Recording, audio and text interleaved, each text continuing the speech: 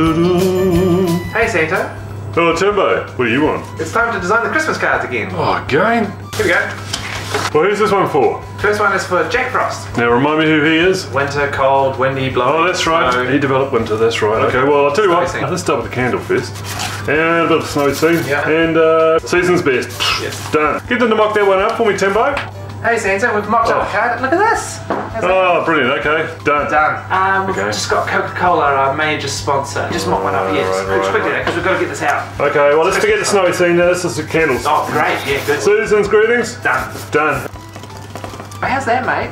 Oh, great. Oh, good, isn't it? Love candles, eh? Love candles. Oh, yeah, Three of done. those. Okay, hey, forgot one thing. My fault. Um, Christmas cards for everybody else in the world. You guys can't do this one yourselves? No, here you go. Just sort that one out, mate. Okay, alright, alright. Um, Well, should we do some candles? no, no, let's go religious. Alright, let's do Little King. Little King. And it's Little Kingdom.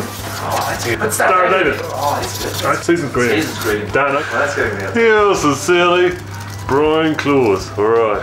Hey, Santa. Oh, Timbo. Hey, look at this.